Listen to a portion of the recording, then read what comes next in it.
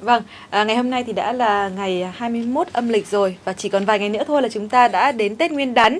Không biết anh Phước như thế nào nhưng mà ngày nhỏ thì tôi rất là mong chờ đến Tết, vô cùng là háo hức bởi vì khi mà còn nhỏ thì gia đình chưa có điều kiện, lúc nào cũng chỉ mong đến Tết để được ăn nhiều món ngon và được mua quần áo mới. Và rồi Tết đến thì những thành viên trong gia đình lại được quây quần bên nhau, à, ngồi xung quanh nồi bánh trưng và đó là một cảm giác thực sự là rất khó quên, một cảm giác gắn bó ấm áp. Còn đối với anh thì sao? À, Thanh Huyền vừa nhắc đến ờ, cảm giác ngồi bên nồi bánh trưng thì ờ, tôi cũng nhớ cảm giác này mà đây có lẽ cũng là một trong những hình ảnh mà khó quên nhất của tuổi thơ và lâu lắm rồi thì không có dịp để để trải nghiệm lại cái cảm giác này nữa.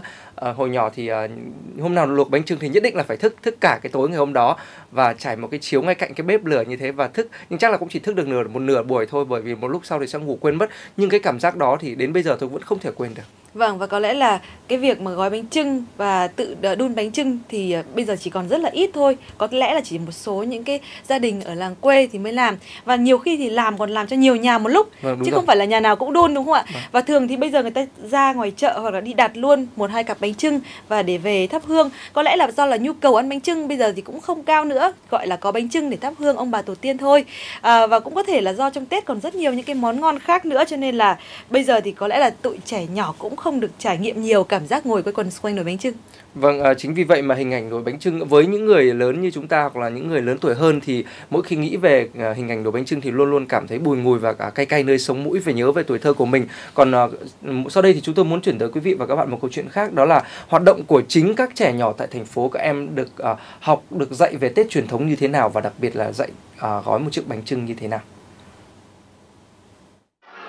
Thưa quý vị và các bạn, Tết đang đến rất gần rồi và Tết đoàn viên chính là dịp để mọi người trong gia đình cùng nhau quây quần, nói với nhau những lời chúc đầu xuân hay cùng nhau thưởng thức những món ăn truyền thống. Và Tết thì thực sự có ý nghĩa đối với tất cả mọi người. Đối với những đứa trẻ được sống trong xã hội hiện đại, được tiếp cận với rất nhiều những thứ văn minh thì chúng nghĩ gì và hiểu gì về Tết.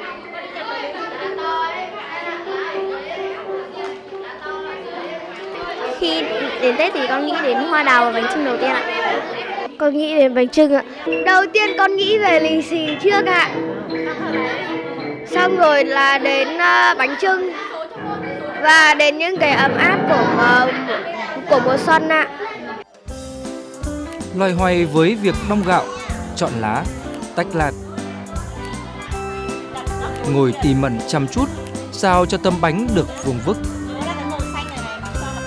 Nói đến Tết là nói đến bánh trưng các em đều biết điều đó.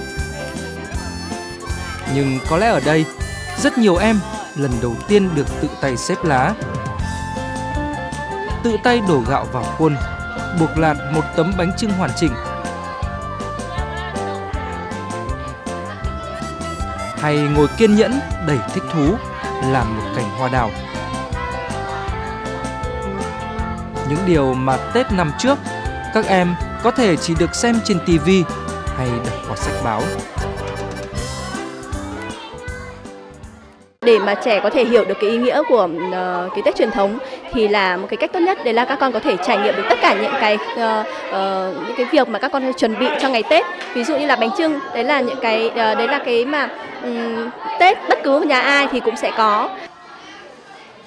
Trên thực tế, những đứa trẻ ở nông thôn thường sẽ hiểu về Tết truyền thống hơn so với những đứa trẻ ở thành thị. Tại các thành phố lớn, bố mẹ luôn bận rộn và không có nhiều thời gian. Do vậy, tham gia những hoạt động như thế này sẽ phần nào giúp trẻ hiểu hơn về Tết đoàn viên và giúp trẻ thêm yêu mến và gắn bó với gia đình mình hơn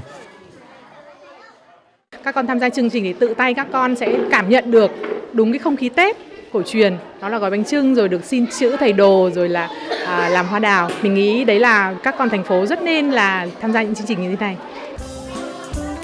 Ai ai giờ cũng bận rộn cho những công việc riêng để vun vén cho một cái Tết sung túc. Và trong muôn vàn công việc không tên đó thì việc dạy cho trẻ hiểu về cái Tết truyền thống là một việc làm quan trọng và giàu ý nghĩa.